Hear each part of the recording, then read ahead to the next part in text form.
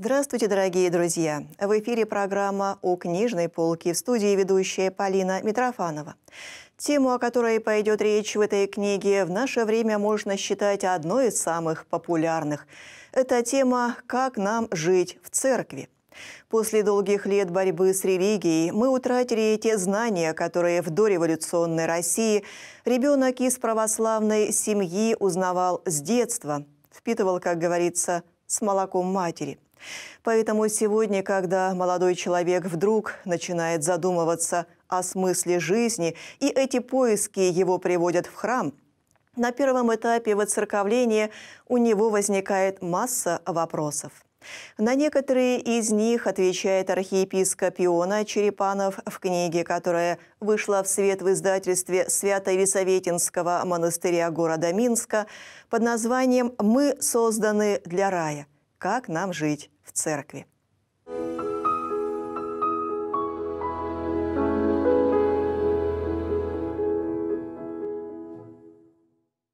Архиепископ Обуховский Иона Черепанов, викарий Киевской епархии, наместник Троицкого Ионинского мужского монастыря в Киеве, председатель синодального отдела по делам молодежи Украинской православной церкви, главный редактор журнала «Отрок», в этой книге владыка Иона обращается в первую очередь к поколению молодых людей, как пришедших в церковь, так и тех, кто только задает себе вопросы о смысле бытия и о жизни в церкви. Ему, по словам издателей, удается говорить с читателями откровенно и доверительно. О чем эта книга и для кого, владыка Иона просто и ясно объясняет в предисловии к ней. Книга, которую вы держите в руках, пишет автор, не была написана как один цельный текст. Это собрание ответов на вопросы, заданные в разное время корреспондентами самых разных изданий. Она представляет собой некую мозаику из размышлений, как нам жить в церкви, какие вообще взаимоотношения могут быть у человека и церкви Христовой. Ведь каждый из нас не является всего лишь сторонним элементом, проникшим в церковь как в некую организацию. Нет. Входя в церковь через таинство крещения, мы становимся частью этого огромного живого организма, одной из его молекул – Поэтому неудивительно, что в церковной ограде собраны люди самого разного уровня веры и воцерковленности – от абсолютно охладевших, увлеченных какими-то антицерковными настроениями, до тех, кто всю жизнь посвящает служению Богу и ближнему. Как отмечает автор, еще апостол Павел писал, что каждый член церкви – это часть тела Христова. А в теле, как мы знаем, если какие-то органы болеют, страдает весь организм. В то же время все мы являемся и чадами православной церкви. Но сколько из миллионов крещенных людей, пусть даже не живут, но хотя бы стараются жить, исполняя заповеди Божьи? Увы, общение с церковью у очень и очень многих заключается лишь в двух посещениях храма – причем оба раза в бессознательном состоянии. Первый, когда его приносят младенцам на крещение, второй, когда заносят отпевать.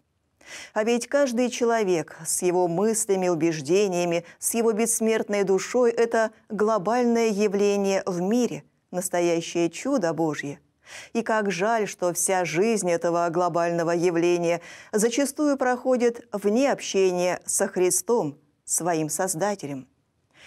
По словам владыки Ионы, у него болит и страдает сердце о каждом, кто, войдя в церковь, чем-то смутился и затем на время оставил ее.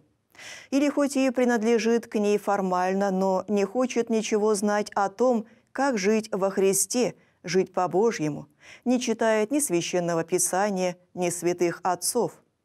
О многом из этом вы прочитаете в данной книге – Вот, например, собеседник архипастрия задал ему такой вопрос. «Владыка, у вас есть ответ на вопрос, почему у православных все так долго? Последование к причастию, службы, акафисты, каноны?» Ведь нигде в Евангелии Господь не говорит «молитесь как можно дольше».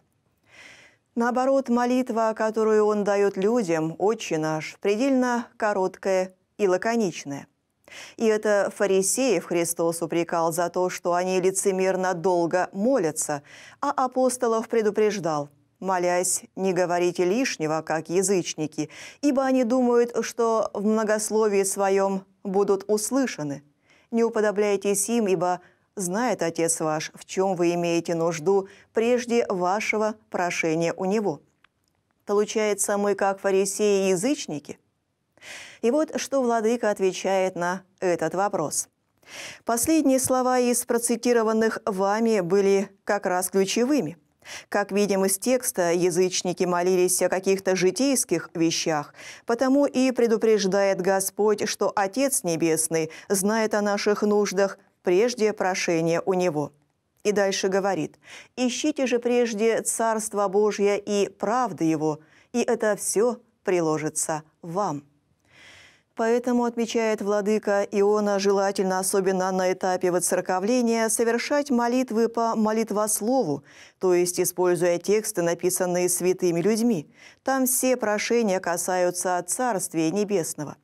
Представьте, о чем бы мы стали молиться, когда вот только-только уверовали в Господа, еще не погрузились в глубину Евангелия, не ощутили всю возвышенность слов Христа. Конечно, просили бы того, что кажется насущным и чего обычно себе и другим желаем – здоровья, благополучия, счастья в личной жизни. Но против этого, в общем-то, и предостерегал Господь. Владыка также напоминает собеседнику слова замечательной молитвы святителя Иоанна Златоуста, читаемой каждый вечер.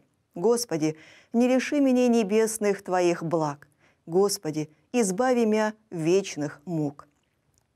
Все прошения этой молитвы, по словам архипастыря, касаются совершенствования души, наших взаимоотношений с Богом, к которому мы обращаемся действительно как к Отцу Небесному, который знает о наших бытовых проблемах, и ему даже напоминать об этом не надо. А просим мы его лишь о том, что необходимо для пребывания с ним в вечности – в ответ на слова собеседника, не являются ли длинные службы и молитвенные правила теми самыми взваленными на плечи верующих бременами неудобоносимыми, о которых говорил Господь в Евангелии, Владыка отвечает следующее. «Если для человека молиться в тягость, значит, он просто не любит Бога, как бы жестоко это ни звучало». В одном из интервью я уже говорил, что когда люди влюблены, они не могут наговориться, наобщаться. Им в радость даже просто сидеть рядом, смотреть друг на друга. И если у человека нет нужды говорить с Богом, значит, он Бога не любит. Это страшное состояние. Но что делать, если все-таки современный суетный мир забирает все время христианина, и у него не хватает сил на молитву? Как молиться – о чем молиться, как не оправдывать себя, на все эти и другие вопросы отвечает владыка Иона в этой книге.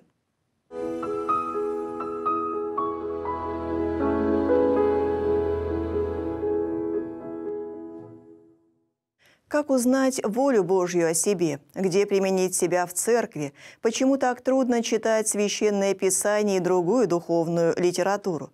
Почему тяжело стоять на молитве? Надо ли ездить в паломничество или достаточно просто молиться на своем приходе. Зачем нужен духовник?